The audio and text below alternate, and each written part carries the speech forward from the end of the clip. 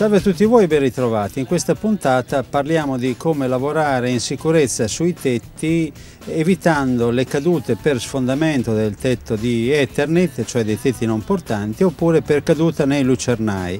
Alle mie spalle vedete un, un tetto con tanti lucernai eh, vedete che non sono protetti, quindi se un lavoratore eh, sbadatamente dire, fa un passo indietro può precipitare all'interno del tetto, anche recentemente parecchi sono eh, gli incidenti accaduti eh, per questo. Vedremo quindi insieme una serie di interviste, di documentari didattici su questo punto.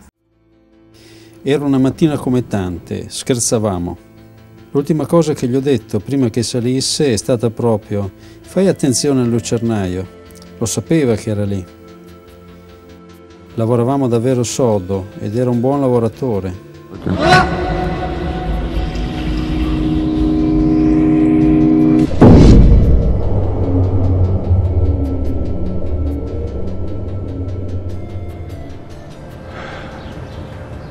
Non so proprio come fare a dirlo ai suoi genitori.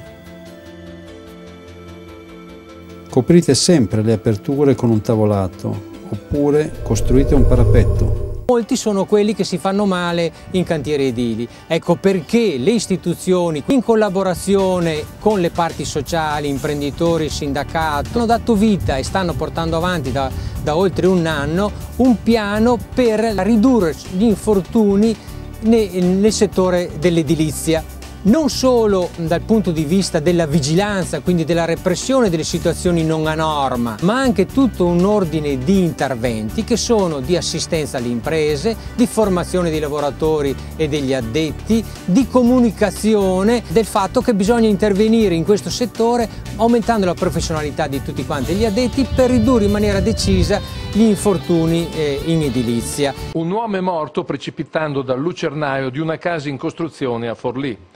L'incidente è accaduto poco dopo le 8 di questa mattina, all'inizio della giornata di lavoro. Si chiamava Marino Matulli, 50 anni, forlivese. L'uomo, dipendente della cooperativa Arte Muraria, impegnata per conto della cooperativa edile forlivese nella realizzazione di 10 villette a schiera alla periferia della città, aveva il ruolo di capocantiere. Nessuno ha assistito alla tragica caduta dopo che Matulli era salito sul tetto della casa in costruzione. Quando non ha risposto ai richiami dei colleghi, questi sono saliti sin nel sottotetto, facendo la tragica scoperta. Matulli è caduto nel vano di uno dei lucernari in corso di completamento sulla copertura.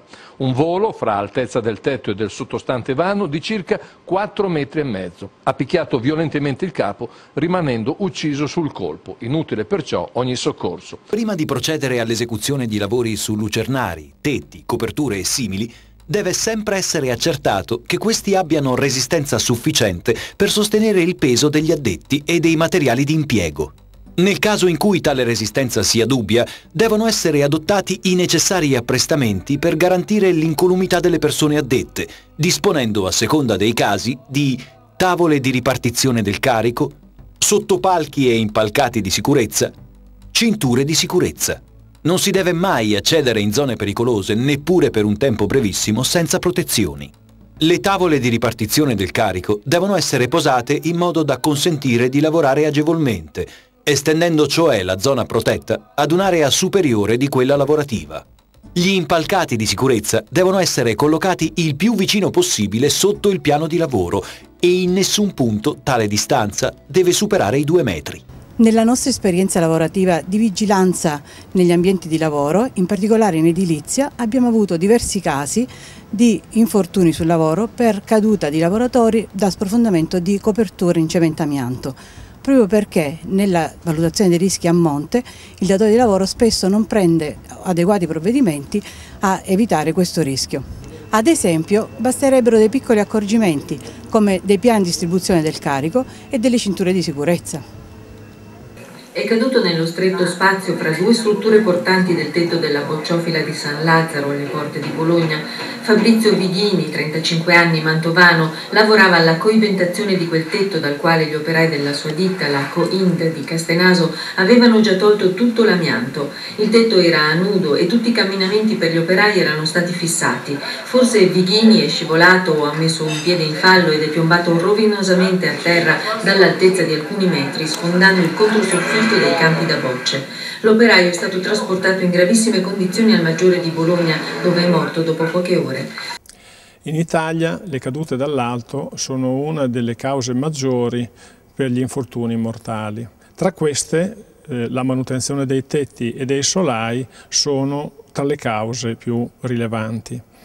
Recentemente ci sono stati eh, diversi infortuni mortali di lavoratori dipendenti o di artigiani dovuti appunto di sfondamento durante la manutenzione dei tetti amianto. Ci sono attrezzature come ad esempio i cestelli elevatori che possono essere tranquillamente utilizzati.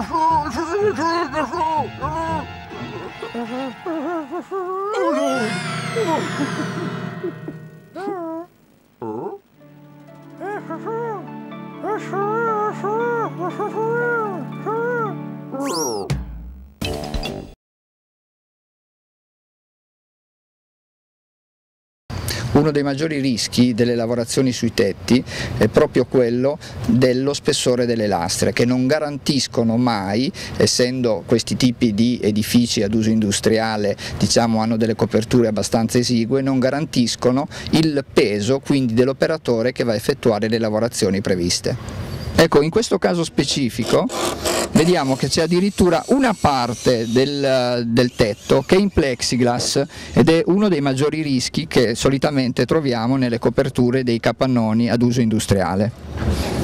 Ecco, vi facciamo vedere come in questo caso gli operatori lavorano sempre su un idoneo supporto che si creano quindi volta per volta in corrispondenza della loro lavorazione. Ecco, qui poggiamo la lastra, in questo caso, e quindi come vediamo gli operatori sono sempre in maniera stabile su un posto. Ecco.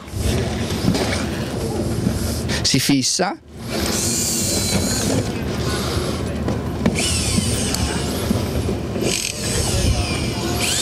come vedete sempre agganciati su due linee vita, la questa di sinistra e l'operatore di destra sull'altra.